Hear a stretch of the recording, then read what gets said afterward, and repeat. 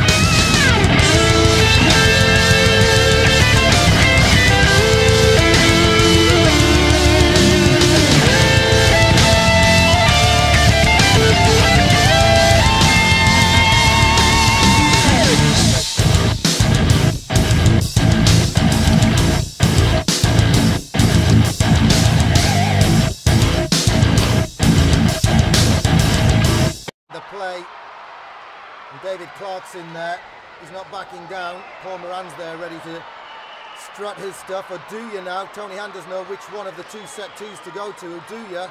Is corralled by Dion Darling. Dion Darling's not going to let the big NHL official heavyweight do any damage to his younger, smaller players. And here we go now. Dion Darling's throwing them. There's been a problem with the Edinburgh Capitals shirts. They're not tied down. Oduya, though, has to have his tied down if he chooses to fight. His shirt's coming off now, so that should be an extra penalty for him. Dion Darling's got him. It's always difficult to find a play when the gear comes out. For that reason, there's nothing to hang on to. Oh, Dion Darling's found something to hang on to. Oduya's throat. Well, that's unfair when a guy doesn't have his shirt tied down. Hopefully the referee will spot that, but perhaps not. Dion Darling doing his job, looking after his teammates. Into the boards, a crowd like that one, and here they come. They're going to like this an awful lot more. Here's Marge with a shot just wide. Koenig unable to get hold of that.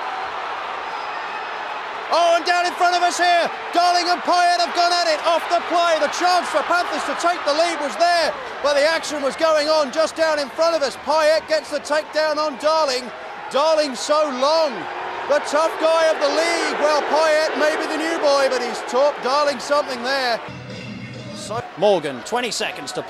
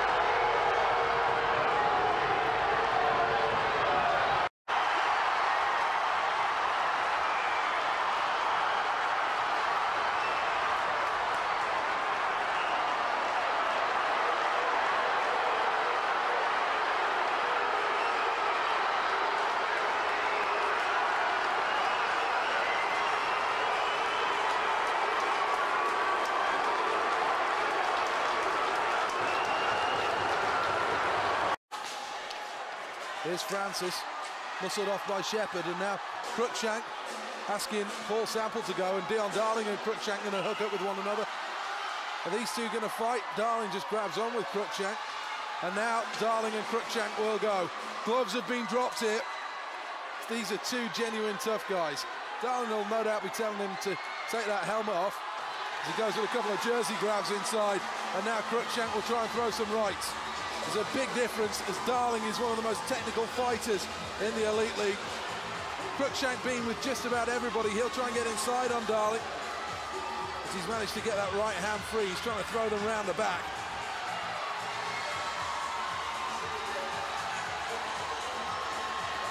Cruikshank's got his hand around Darling's head as Darling just uses that left fist into the face of Brad Cruikshank.